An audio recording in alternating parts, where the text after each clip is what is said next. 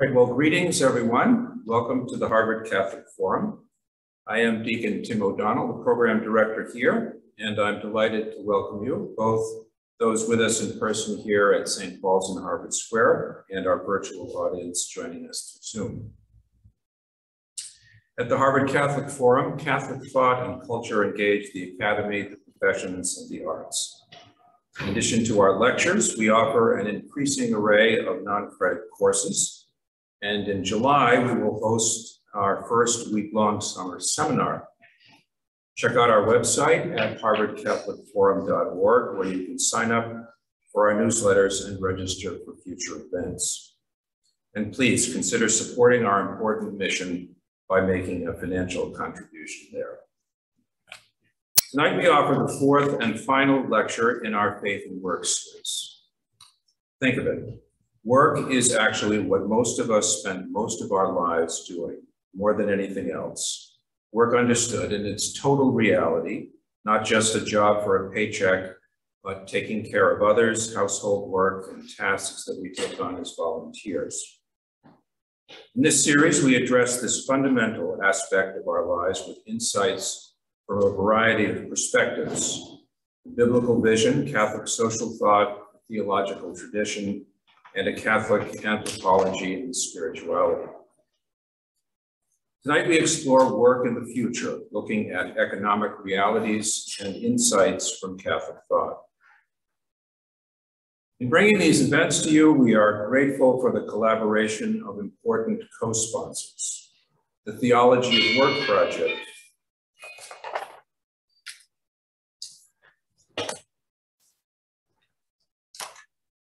uh, the Theology of Work Project, the Lumen Christi Institute at the University of Chicago, the Human Flourishing Program at Harvard, CAP USA, CAP Catholic Social Teaching in Action, CREDO, the Catholic Research Economist Discussion Organization, the Illumine Network, the Collegium Institute, and the St. Benedict Institute at Hope College.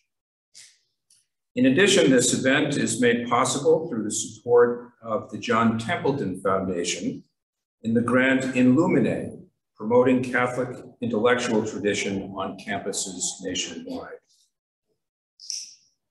Please note this event will be archived on the Harvard Catholic Forum YouTube channel. If you like what you see and hear, please share the link to that channel with others who may be interested. All of our past events, including the earlier talks in the Faith and Work series, can be accessed in our archive at harvardcatholicforum.org. Before I introduce our speaker, let me give you a roadmap of tonight's event.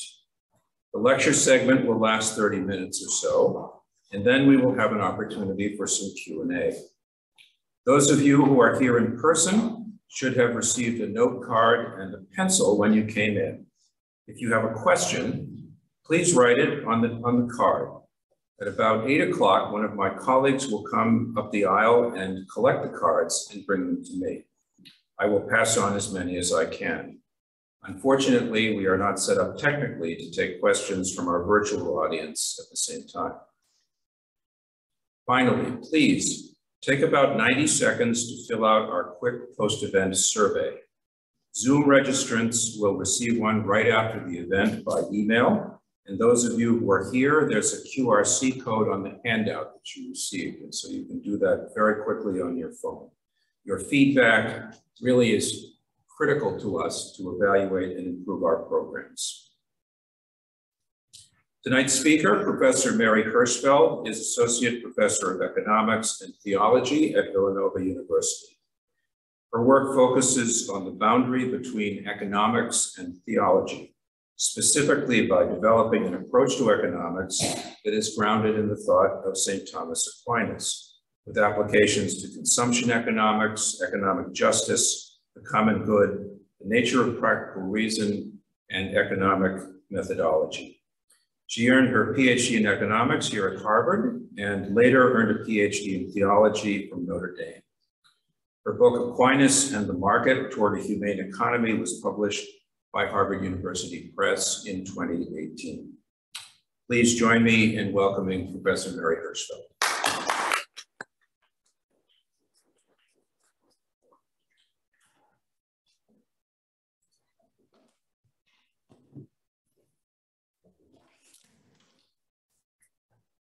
Started with the bang.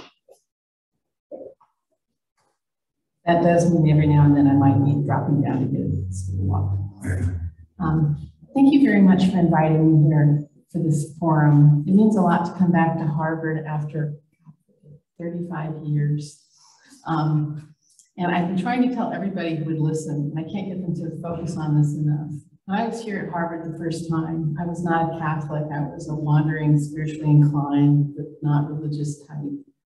And graduate school is a total misery, or can be, because graduate school has many of the elements of not good work, of, of bad kind of work.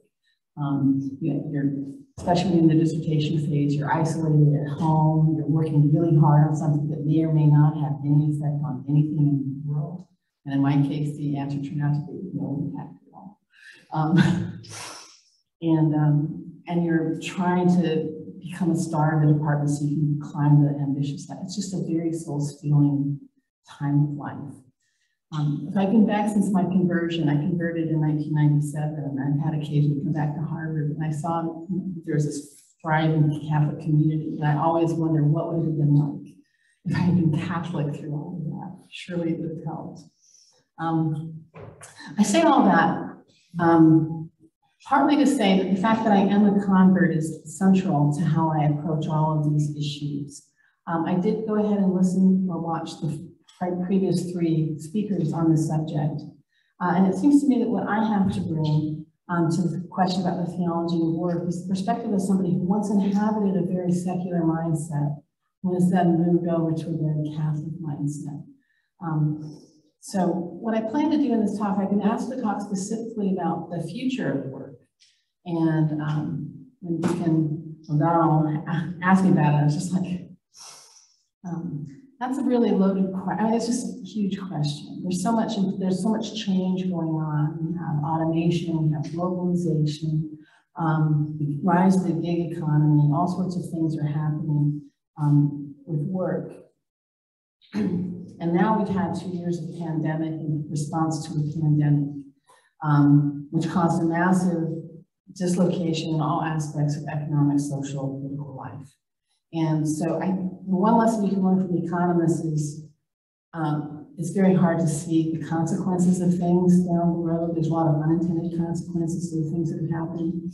We had, I don't think anybody can credibly say they had any idea how the economy is going to unfold over the next decade, how work is going to unfold over the next decade.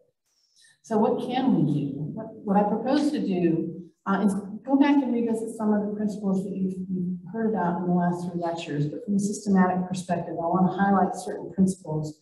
What does it mean to think about work from a secular point of view versus what does it think, mean to think about work from a Catholic, a Thomistic point of view? What difference does it make? So those are the tools that I use to think about things. And, and then my um, plan will be to apply them to some specific topics so you can get a feel for, for what's at stake. Um, and then I want to look at two things that come out of the pandemic. Um, the potential for the rise of hybrid work, where people will be doing more of their work from home and some at, at, at the office, um, which I actually think is a promising, a hopeful trend that, that speaks to some of the issues that I'll be raising. Um, but then I also want to talk about what it means that we were willing to shut down life for two years and counting. Um, what does that mean for the overall sense of purpose and meaning we have in life? And that might point us to an even deeper spiritual level at which we need to engage these questions about meaning and value work. Okay, so that's an overview of what I plan to do. Um, so this idea about these different mindsets, like I said, I inhabit them because I literally went from one to the other. I'm going to borrow the term from Charles Taylor and call them social imaginaries. There's just presuppositions that we act out of, we don't even realize that they're shaping the way we encounter the world and process process it. Um, just certain things that just are unquestionable and we don't even realize that we're not questioning them. Um, so it's sort of like a social imaginary is like what, water is to a fish. It's, it shapes their whole environment everything about them, and they may not even know that they're in the middle of the water, much less be able to question it. Okay, so what I want to do first is sketch out briefly what I take to be some of the fundamental aspects of the social imaginary modern secular society, the one that I inhabited back when I was here at Harvard. Um, and then I'll take up the one that I get from Thomas Aquinas. Okay, so starting with the modern view, um, we're going to start, we're going to focus on the topic of happiness because happiness is what directs all of our actions. So in the modern view, happiness is roughly understood as being the fulfillment of our desires. Um, whatever it is that we want, we want what we want. And the, and the big challenge that occupies us is trying to get what we want. Okay. Um, and it turns out, and this is really crucial to our understanding, um, that our wants are open-ended. Okay. So this idea that I want what I want, and I'm going to want something more, and I'm going to want something more. It's just going to keep playing out forever. Was laid down in the modern psyche very early on. Thomas Hobbes in Leviathan, Book 1, Chapter 11. And, and he's marking this as a big shift. I'm going to paraphrase because it is old English. Um, but he writes this. He says, when we think about happiness of this life, um, it does not consist in the repose of a mind satis satisfied because there is no such ultimate aim or greatest good as is spoken in the books of the old moral philosophers. No, no person can live whose desires have come to an end. Um, you can't live that way any more than you could live if your senses and imagination has suddenly stopped. Happiness is a continual progress of the desire from one object to another. The attaining of the one that you have is just pointing you on to the way of another. Okay? because of that, that object that a man desires is not only to enjoy once and only for this time, but to assure forever the way of his desire. Okay? If we stop desiring, we would be dead, is how I understand what saying. And then our then preoccupation is not only making sure that I get what I want today, but also trying to set myself up so that I can get what I want tomorrow and the day after that, the day after that. Okay. Now, these ancient philosophers that he's disparaging certainly did think that happiness was the repose of a mind satisfied, that happiness is resting in whatever is the ultimate good that we desire. Um, and from their point of view, what Hobbes is describing is actually a vice. It's the vice of pleonexia, um, just this endless, restless desiring of more. And from their point of view, if I just desire one thing and another and another, it never comes to an end, it has no point right? It's just kind of aimless and it, and it adds up to a meaningless life. Um, now, there's two important things to observe about this modern social imaginary. Number one is we take our desires as given. I'm not going to talk about this too much, but we just kind of assume that you want what you want. Woody Allen once famously said, the heart just wants what it wants. And that's sleeping with my 13-year-old chocolate daughter. Um, we take them as given, and there is no idea that the real adventure of life is not just getting what you think you want, it's learning what is desirable, what is good to want, right? Reflectively considering what we should, should want. But from my point of view, the second aspect of Hobbes's vision um, is that it means that whatever is in your desire set, and you could be a greedy person and want to have big penthouses and yachts, that's certainly possible. But your desire set could be more noble. You could want to help the poor. You could want to learn. There's all sorts of good things that could be in your desire set. But once you take this idea that I always want one thing after another after another, whatever that thing is, um, you do end up placing at the center of your life something like greed. Money ends up being a lot more important, even if your set of desires are not necessarily attached to that. So how does that happen? Let's say I'm Mother Teresa. Let's imagine. Okay, and, I, and my goal in life is I want to help as many people as possible. First this person and this person and this person. So it still has that form of one after another after another. What's the thing that's keeping me from progressing out of my ladder of desires? Well, I need more money and I need more time. I'm always constrained by my resources. Okay, so whatever it is that's on my ladder of desires, the thing that's holding me back are my resources. And that means that all of my attention, or at least a lot of it, is going to be focused on loosening those constraints. I'm going to want more money and I'm going to want more time. Um, so as a result, I'm going to think I never have enough money and I never have enough time. Okay. the reason why that's important is if you step back for a minute, you realize that money and time are both instrumental. They're not goods in themselves. The reason I want money is because I want to buy something. The reason I want time is because I want to do something. Um, and whatever it is that I'm wanting to buy or wanting to do, that's the real good. But because I have this endless ladder where I'm always held back by the resources, I'm going to end up treating that instrumental good as the ultimate good. Okay. So there's a couple of consequences of this. We can all know in principle, everybody does know in principle, that there, there are many good things in life that are worthy of pursuit, um, other than just money. We're all going to tend to prioritize the economic aspect of it. It's just going to seem more weighty than it really ought to be. Um, we'll tend to think that there can often be trade-offs between these economic goods and the other higher goods. Um, and sometimes we might even be willing to sacrifice those higher goods because of financial considerations. The day that completely broke my heart was one of my students, after hearing all this stuff from me, raised her hand to say, you know, my deepest heart's desire is to be a first grade teacher. I would just love to do that, but it would not be rational for me to do that because she wouldn't make enough money. She's taking the small good and prioritizing it over her ultimate goods. Okay. Um, so that's a big consequence. And, and I, I think it's very hard in our society with our social imaginary, we've all been formed by it, to really escape that. The other aspect of it is because we're putting money and time as being the central objects that we care about, um, notice that those are things that are quantifiable. And, and we tend to measure all those values in terms of those things that can be quantified. Um, and it tends to flatten the world. We tend to stop seeing exactly what the nature is of the business we're pursuing and think that it's monetary terms. And there's a dehumanizing aspect to that, especially when we attach these dollar values to humans. Um, so I know we have some economists here. So in economics, in Econ 101, you'll often talk about a production function for an economy. You'll say output is a function of capital and labor. I've had a chocolate. Output is a function of K for capital and L for the labor. And notice the K and L are now completely interchangeable. I'm going to do all my equations where I can trade back and forth between the two of them. And somehow my labor has now become no different in any important way from the capital. It's right next to it. Okay.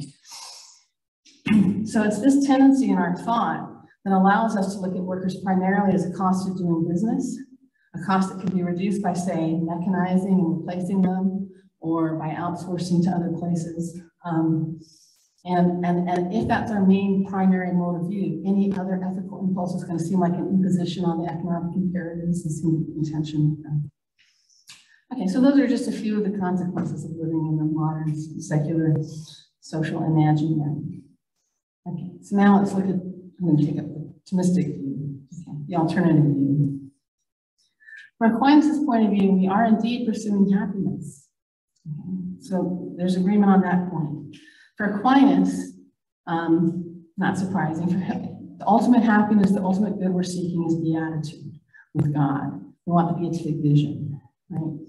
Um, which sadly turns out to be not available to us in this lifetime. So we gotta wait for it. Now notice, if our ultimate happiness is the beatific vision and God is infinite good and all that, he's actually acknowledging something that Hobbes said, which is that our desires have this infinite quality to them, right? That it really isn't, wouldn't make sense to sit here in this world and feel like you could rest and repose completely in some, you know, some happiness here. Okay, but he's going to reject the idea that we then pursue happiness in this life as though it was a ladder of desires the way he's going to think, or at least the way I think about it in light of his thought, um, is once we notice that our ultimate desire is God, then we have to ask, how do we relate the goods of this life to that ultimate good? Okay. And here's where I normally like to spend 10 minutes geeking out on the theology because it's super cool. I'm going to try to abbreviate it very quickly. You have three options on this question. Option one is to imagine that God is infinite good and all the finite goods just kind of lead up to God. Okay. This is making the theological mistake of using univocal language between God and the creatures of the world. And I won't tell you why, but that's a big no-no. Okay, that makes you a heretic. Okay. Um, but notice if I think that God, you know, the infinite good of God is just sort of qualitatively like the finite goods leading up to God, um, I'm inviting myself to view that ladder of desire, the one that the secular imagination inhabits. The other alternative, theologians who realize that we don't want to talk about God and the goods of this world in the same breath, say that the way to keep God transcendent and understand the mysterious grandeur of him is to say you can't talk about him at all in earthly terms, to keep him completely divorced, in which case our daily concerns about trying to find happiness in this life would have nothing directly to do with the happiness that we're aiming at. That's the theological mistake of using equivocal language about God. We're talking about God, we're saying something completely different we're talking about human goods. Okay. So Aquinas' path through the sticky wicket of either God is the same, you know, in the same vein as the goods of this life are completely separate, is to say that the happiness or the goods of this life are analogically related to the beatitude that we hope to know. Um, so what does that mean? I think that it's like a reflection that everything that's good in this world reflects God's goodness one way or another. For the simple reason that God created it out of nothing. There's if you see anything good, it has to be something about God that you're seeing some some relationship to it. So it's like this mirroring thing. Okay. So the question is, if, if the goodness in this life, happiness we're in this life is supposed to be a mirror of a reflection of this infinite joy that we're hoping for, um, what does that look like? What does it mean to reflect an infinite goodness into a finite creation? And there's two key principles that Aquinas gives us. Number one, God reflects the goodness, his superabundant, infinite goodness into this world by creating a multiplicity of diverse goods. No one created good could possibly say anything about God because it's, it's too finite. But if I have an apple saying there's an apple-like quality to God, right?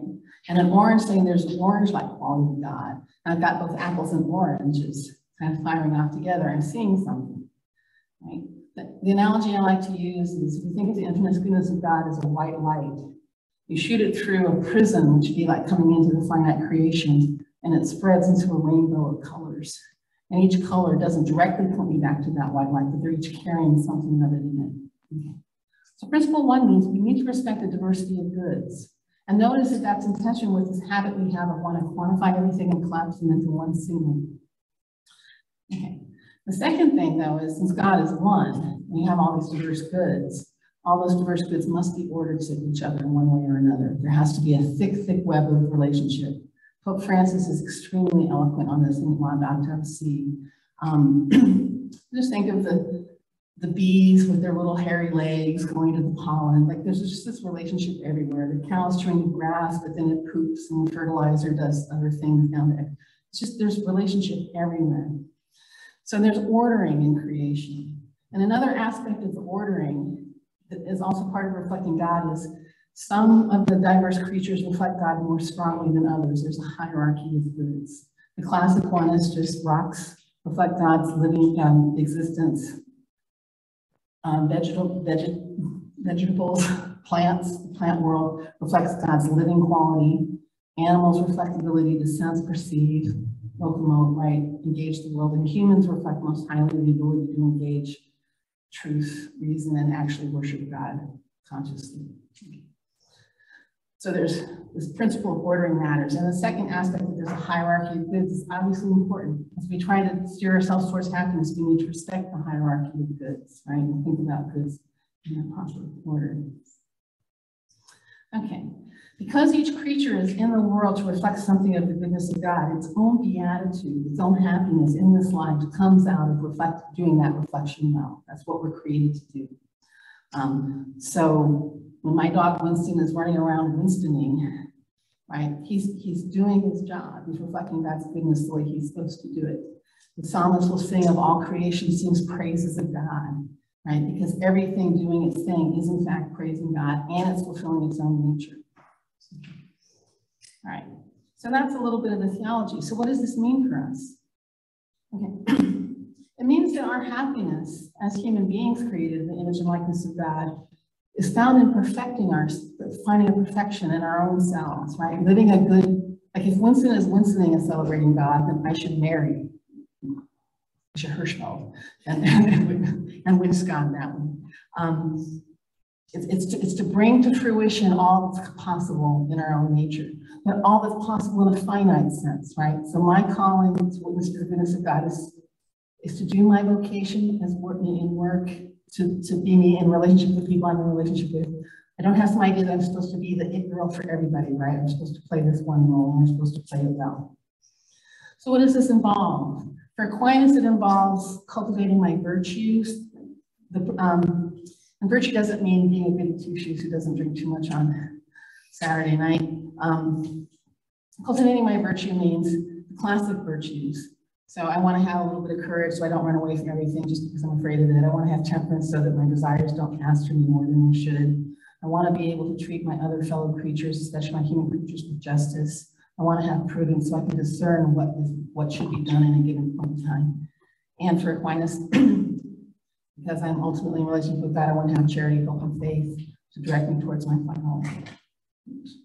Still good? Did my button? Okay. Um, okay.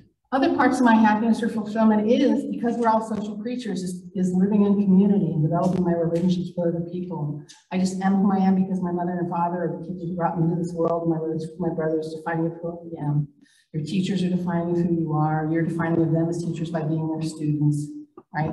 It's our community lives in which we come to know ourselves and love each other, which means obviously we should care for each other.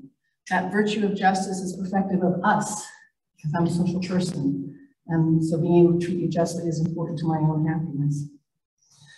Part of our ultimate um, fulfillment as human beings, because we have this rational capacity to pursue the good, the true, and the beautiful. And I think because that's pointing us back to something of God in a higher sense that we have access to as human beings. And ultimately, our greatest joy is worshiping God. Okay. So that's the picture of happiness. And you will notice that I did not mention money. And the reason I did not mention money is it's an instrumental good right? So on Aquinas' view, you are born into whatever circumstances you are, and have whatever vocation, whatever calling you have, whatever path in life. It's going to be your way of witnessing to God's goodness. You should be able to figure out what material needs you need in order to sustain that life. And maybe oversimplify. You should be able to think, you know, I, my vocation is this. To live that life well in this community, I would need $80,000 a year. You should be able to figure out what you need. Mm-hmm. And then once you have that, you have it. And any other money you had would be completely surplus to you, would be available to go to other people. And notice what a huge flip this is on the modern social imaginary. This is the biggest one. Well, a lot of big ones. This is a big one. What sort of things I should buy. I ask, how much money have I made? How much can I afford? Right? It just, it, it goes with that. Um, whereas on this view, I, I ask first, how much do I need? I try to get it. And if I don't have what I need, I'm going to experience poverty.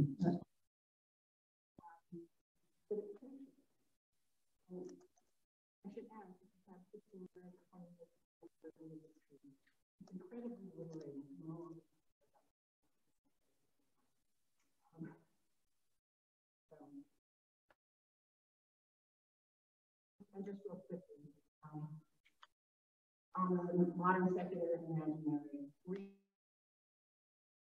I'm going to be just other people, or maybe I want to find selfish. We have these tensions and trade-offs, but we all think of ourselves as kind of atomistic individuals.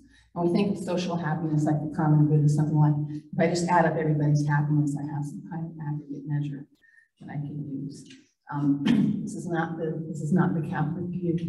The, the, common good that ties us together is the fact that I'm only fully me if I'm in a relationship with you. So our good matters together a lot.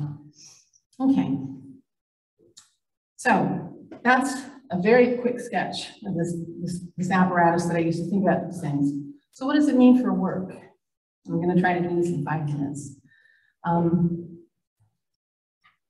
so the modern view is this the one that we're familiar with? If you ask about work, there's two ways you're mostly going to think about it. You'll think first in terms of how productive is, is work. How much, how much value does the labor give us? How much economic value do the workers produce? That would be one question you would ask about work. And the second thing you might ask about is compensation. What economic value do workers earn through their work? And it's all done in economic terms. Um, okay. The Thomistic view is considerably richer, and I know that you've already heard pieces of it from the previous speakers, but I will rehearse them yet again. Um, number one, first and foremost, work is how we exercise our creation in the imago Dei, our creation in the image and likeness of God. Um, we are, in some sense, co-creators with God. He put us in this world in order to shape it through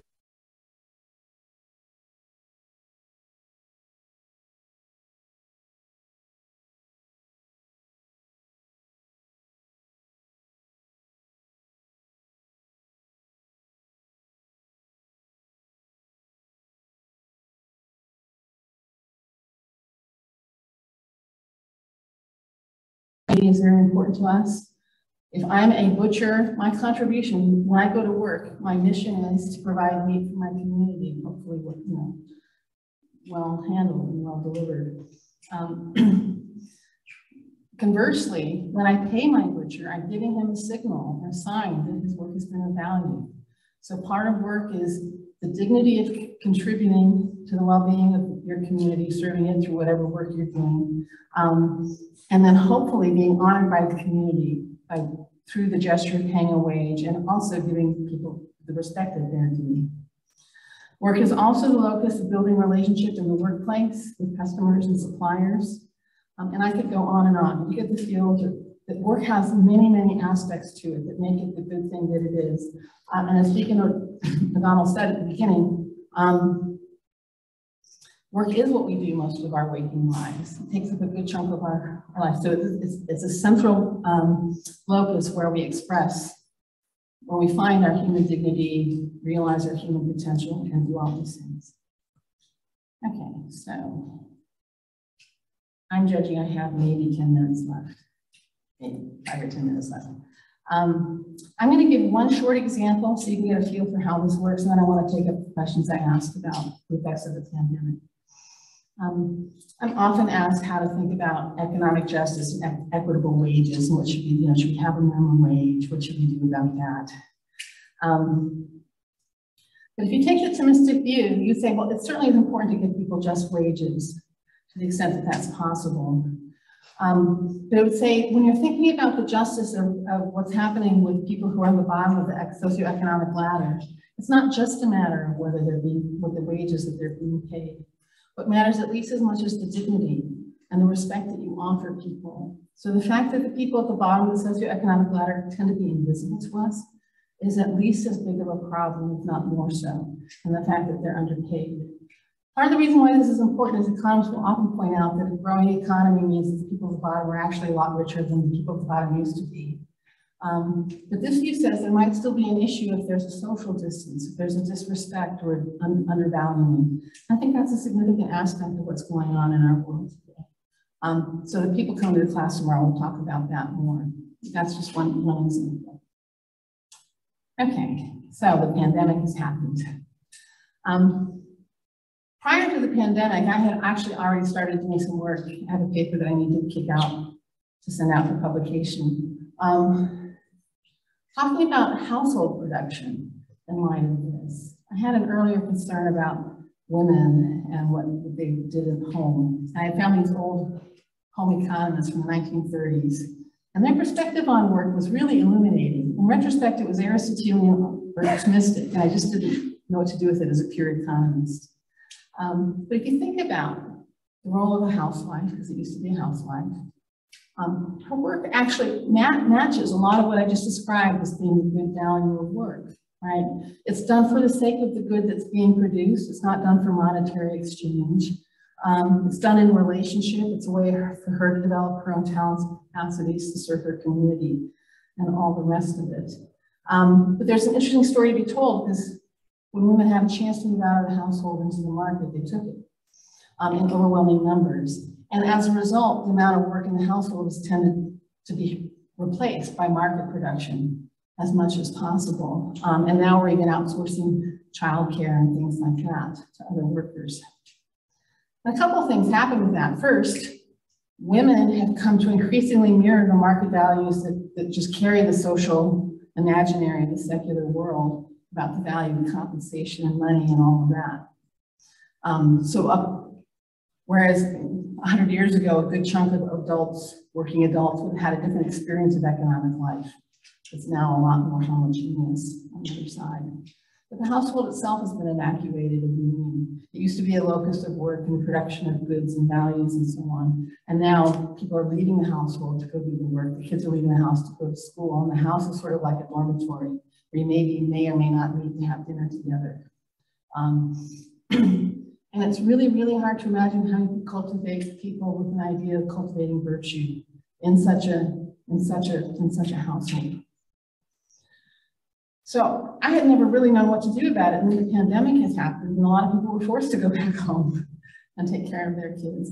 Um, I have one student at Villanova right now who's finishing up her senior honors thesis, where she's interviewed a lot of these women. And what she's finding, and it seems to mirror what I'm hearing from other sources, is that women overwhelmingly, they don't want to stay home, having gone home for a while. I mean, some might, some will. But they also don't want to go back to full work either. They really are looking for a hybrid solution where they can work at home for a couple days and do the tele, you know, the Zoom and all that, but also go to the office because physical presence matters there as well. But it suggests that there might be, that this two years, which has been so strange, might have opened us up to the possibility we want to reorder our priorities and get back to, you know, get back to the things that really matter. And intriguingly, maybe even at the expense of salary. So a lot of women in my student surveys are saying, I would take a job cut in order to have this kind of flexibility. Um, and that's speaking from a spirit that's more closer to the optimistic spirit that I was talking about. So I regard that as a hopeful sign, or at least a place where we might see some cultural change. Okay. The last thing I'll say, and I'll try to keep this to about three minutes. So that was my hopeful sign, my less hopeful sign. Um, even prior to the pandemic, Ross Douthat put out a book called um, The Decadent Society. I don't know if any of you have read it. Um, he argued that our culture seems to have lost gas, that our genuine progress really is kind of stalled out, except for this, whatever's going on with this tech stuff. Um, but that it's nothing like the transformations you had from going from horse and buggies to cars, from going from letter writing to calling on the phone. We haven't had these major transformations.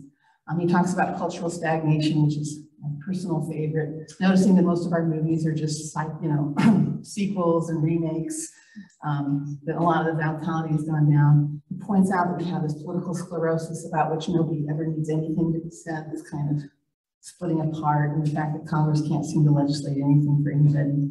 Um, and the last thing he talks about is our declining fertility rates our failure to reproduce ourselves, which is now spread out over most of the globe, not quite all of it, but a lot of it. And he says, all of this speaks to a culture that somehow has lost its larger purpose. That's his thesis. And the larger purpose might be, say, finding new territory. Maybe we could try to go to put a colony up on Mars, and that would revitalize us. Maybe it's because we've lost our transcendent aim, no longer our religious culture. So he concludes this book saying, we should either shoot for the stars or get down on our knees or preferably both, right? If we want to cure this malaise. But it, it seemed to me that then when the pandemic rolled around, Douthat's thesis became a lot more convincing to me. The reason it became more convincing to me is whatever you thought about whether our reaction was the correct one or not, and there's been all sorts of political polarization around this. Very, very, very few people on any side of the debate was willing to notice that we just spent two years with everybody shutting down or muting their lives one way or another. My teaching goes on Zoom, it's not the same teaching. Some people just withdraw altogether. We spent two years saying ordinary life is not the most important thing. Um, and if you think about it, the reason why public health is such a big value is because we think ordinary life is such a big value. We gave up on birthdays and bar mitzvahs, confirmations, weddings, junior proms. There's been a deferral everywhere. People had a on. The whole spectrum of ordinary human life has been muted. And it seems to me that that speaks to culture that, as Douthat was suggesting, maybe has lost its sense of why, the telos, why do we get up out of bed? What's the significance or importance of this? Part of the reason why I snuck this into my talk at the last minute. is I had lunch with my nephew today. And he was just talking about, I'm about to graduate, and I just don't see what the point is of anything. I think I'll go out and try to have some fun, because what else is there? It seemed to me that that spoke to this kind of something sapping out of our culture. So if you want to retrieve the meaning of work, it feels like you have to have some sense of a deeper purpose because work is always still instrumental. It's right producing those goods and services that themselves are towards some larger common project. Um, so where I'm going to conclude is saying we might be in the exact right place for this. It feels like we need a religious renewal. But there, and it doesn't, well, it has to be Catholic, but I won't insist. Okay. But just something that digs deeper into what it means to be a human that possesses people and gives them a reason, especially for young people, especially for young men, a reason to get engaged with a cultural project, to give meaning and energy to work. Um, and if we don't do that, I'm not sure that our future work is looking very good. Thank you.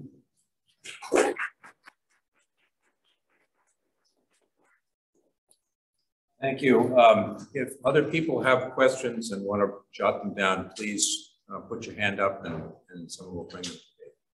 Thank you. So um, let me start with, oh, let me start with this one because this, these were the first two that rolled in. Can you say anything about your conversion and perhaps uh, how that redirected your work and so on? Um, so I'm gonna uh, plug. I gave a whole talk on my conversion story. Uh, if you Google my name and the Faith and Reason lecture, you should be able to find it. It gives you the 45 minute answer to that question. Um, my conversion was out of the blue. I was uh, seeking pagan in Los Angeles, spiritually seeking pagan in Los Angeles. I went out to the desert and prayed to the great mystery, going, what's next? And the answer was six weeks later, I was in the Catholic Church going, huh, that's really weird. and then I, you know, but then my whole world just upended. And somehow the, the social measure I was describing from Aquinas became native to me. That's my story. Thank you. Um, let me ask a very specific one. Um, entrepreneurship, such an important part of our you know, culture, growth, and so on. Uh, and I'm paraphrasing the, the, question, what would you say about entrepreneurship? Maybe uh, more specifically, it's, you know, you don't get into something like that unless you want to kind of make it big. Um, what does that have to do with the, um, with the Thomist view? Um, so you know, you, guys realize I'm going to try to say this all in 30 minutes. I can't possibly explain all of the details.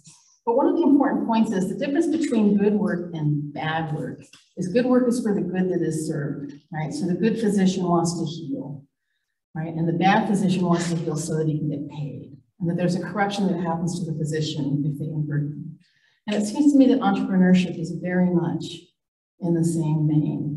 So it turns out that a lot of the great inventions that fueled the industrial revolution, that got the prime, you know, pump, prime the pumps of our economic growth, um, they were inventions that came from um, British guys puttering around in the shed, um, who were obviously just interested in, in the tinkering and, this, and the natural world, and they just loved it. And then somehow they had a steam engine. I'm not sure if that's the exact story, but and then it happened to make a lot of money, not necessarily for the guys who did the inventing. Joel, Joel Mokyr tells us this. Um,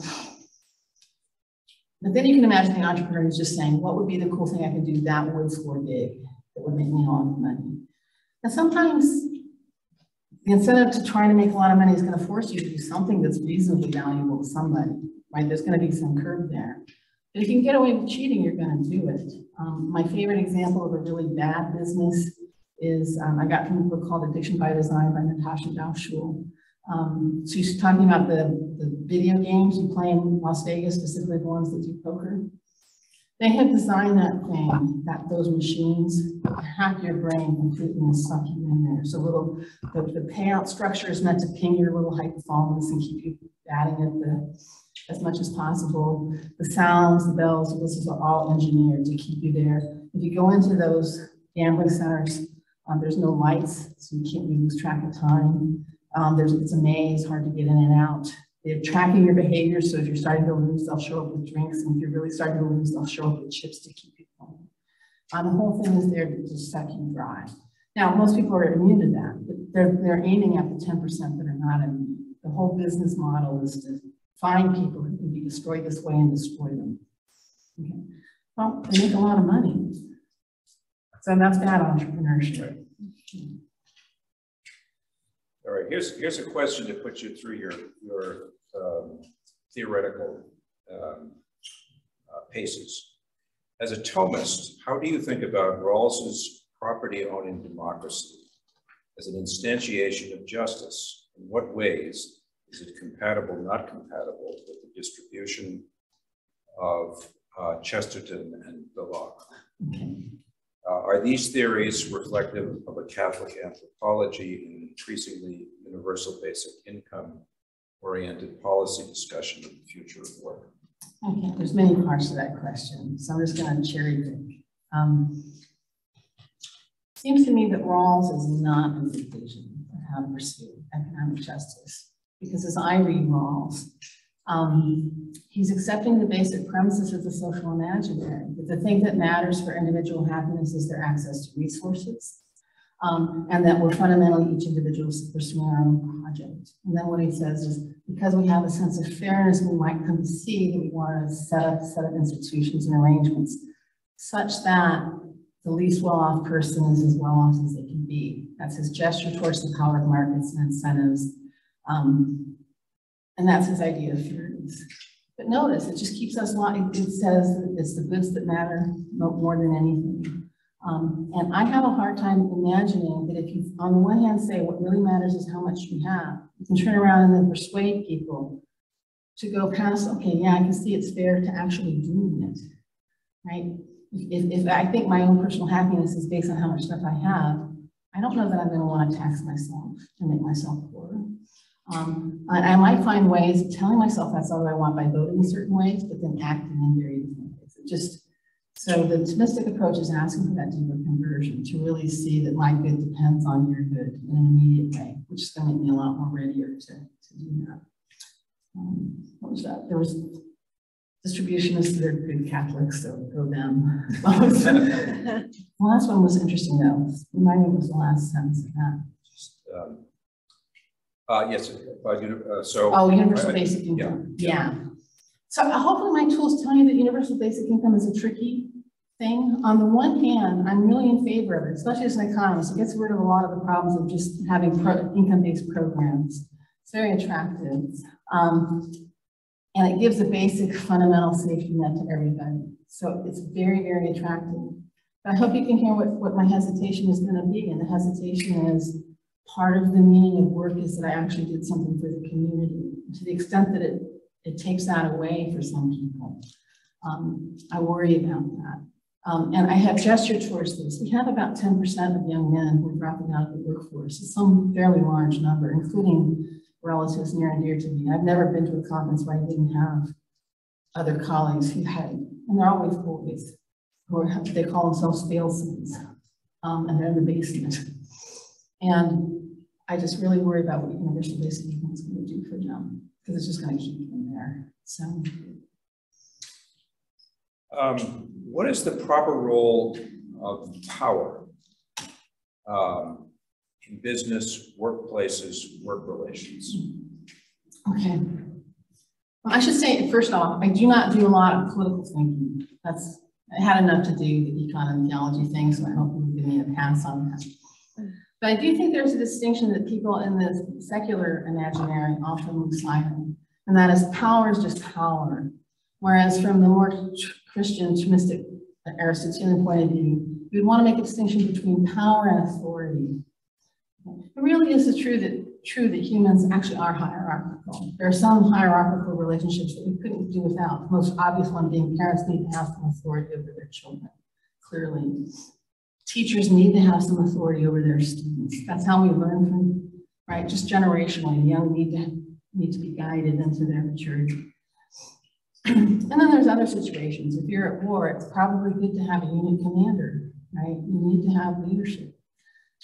Authority is when the leader is exercising that power on behalf of the good of the community, on behalf of the good of the people there. And then the raw naked power that we're so fearful of is when I just exercise that power on myself. So the key distinction is how do I exercise and why? But you, I don't think you can get away from power. I think it's a mistake to think that somehow we could level everything out and have pure equality. I just don't think humans are built that way. So what might Aquinas say about the socialist calculation debate? In particular, the problem that it's quite difficult uh, to learn how goods uh, might be directed towards their most beneficial ends um, without price signals. And yes, you might be skeptical of luxury yachts, but I'm thinking of the global reduction of absolute poverty in the 20th century. Know, um, if I understand that question correctly, can I give a good Thomistic account of why markets are good? Um, I don't actually know what Aquinas himself would have said, because he was before this question was taken up to him, but my Aquinas likes markets a lot. Um, and I have a whole chapter, chapter five, that talks about markets provide very good signals about what's of value to the community and helps direct our resources. Um, and, and you don't want to do without those signals. But it seems to me that you can have a good firm, it's not directly trying to maximize profits. It's trying to produce this good, trying to generate all those other goods. But the profits then or losses serve as a signal about how well they're doing it. And it's going to discipline them, right? And channel them in the right directions. So I think all that's happened in our world is we took what's a very valuable thing in terms of the signaling in the markets and reified it and treated it as human. And, and Aquinas does address this. Um, I don't know if he's alone. It's very rare for a pre-modern thinker to think that merchants might actually have a purpose in life. But when he takes up whether merchants can actually justly trade because they buy, they buy low and they sell high, and how could that possibly be just? And he says, well, insofar as they're taking risks to go across the Alps to bring back those goods, they're performing, you know, they're performing a service. The problem is because they're trading for money, they might be tempted to think that the end is making those profits, not performing the service of provisioning their customers through their trading activities. Um, so he's worried about that. Um, What about lending money at interest? yeah, my book explicitly dodges that question. If you use the principles about whether trade is just, my guess is that some bit of our economy is in fact pure usury. I think that's probably right.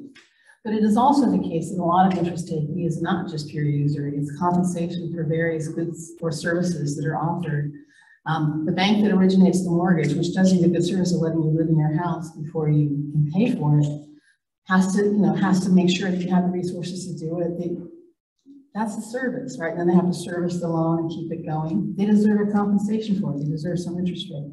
Um, we all know that there should be compensation for inflation. We're going to have to remember that now.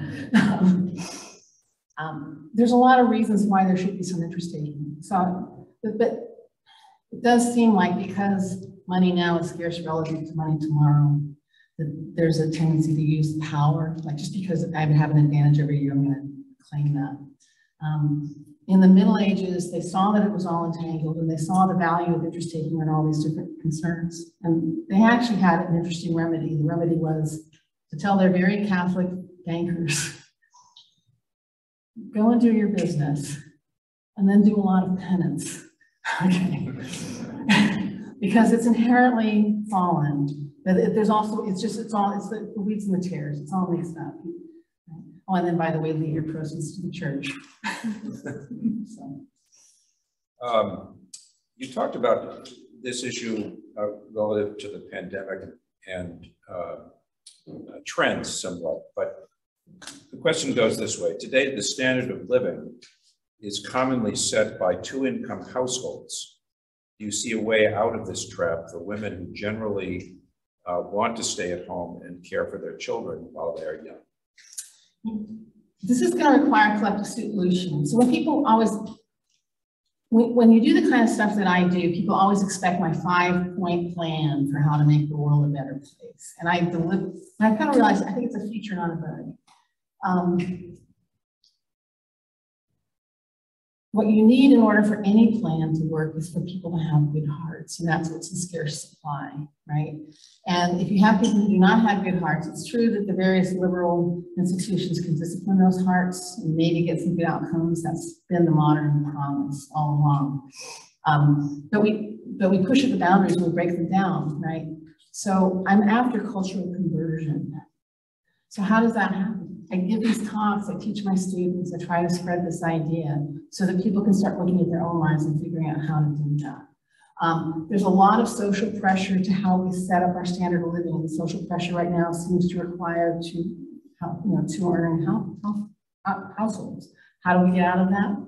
A few brave souls have to start doing it some other way and get some and make some social space for their friends to come along with them.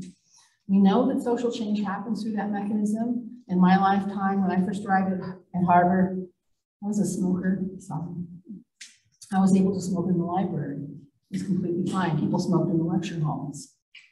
That's a big, big change in the culture. So it's possible. And we have hope in God's providence. Um, One of the great threats to a good uh, theology of work would seem to be, uh, or could be, transhumanism or similar utopian kinds of programs. Um, What do we do about that? Can you talk about what transhumanism is uh, before you answer that question? Um, It's one of those terms that get bandied around and I haven't followed it. I, when I hear the term, this is what I think, all feel free to correct me. Um, we are somehow going to transcend our human limitations. Maybe I will upload my brain to a computer and live on forever. Um, or we will genetically enhance ourselves to the point where we're no longer fully human. Am I in the right ballpark on transhumanism? Thank you. Notice what's wrong with that from a Catholic point of view. If I think that my whole job is to perfect my nature, it's imagining that, it's, it's back on that ladder, imagining some open-ended thing that goes past it. Um, and from my point of view, it's taking us away from our true happiness, not towards it. So um, it just is a representation of the modern vice. Um, So as a last question, and this is, um, I think it allows you to take it in a number of different directions. Um, What should we think about economic self-interest, given the obligation to charity? Okay, it's usually my number one question. So, especially when I'm talking to lay audiences, they line about the door going, okay, I heard what you said about how I should have enough is enough, but how do I know? How much should I do? Um, and the answer is complicated because there's not a one size fits all solution. We know that we're in a culture, I hope this goes without saying, we as Americans are in a culture where the standard of living, social pressures ask us to maintain a very high, very large footprint, right? Um, so we know we should try to resist that as much as we can. On the other hand, you have to fit in. Part of your good as a social creature is to conform to the norms of your, your community. So you have to discern what's the place that I could go that challenges the norms, but still allows me to live within those frame, you know. Um, and it's going to depend on what my occupation, what my occupation is. So for me, I'm single. Um, so my professor, uh, salary as a professor more than meets my needs, so I'm in this happy. But I should not imagine that I want to get a raise or get a bigger house, right? I can figure out I need a relatively small house. I don't need the greatest clothes. You know, I need what I need, but not much more. So somebody who's got a family, they have other concerns to worry about. They might have higher aspirations. So that might set their bar. Um, I have a friend, she has a large family, but she also has a vocation to hospitality. She does a lot in terms of bringing the community together through parties and, and things like that. She has a nice house and she should because it serves her vocation. Um, but whatever that is, once you have it figured out for yourself, then your charity is whatever's above that. So that part's easy. The hard part is figuring out the one. Well, thank you so much.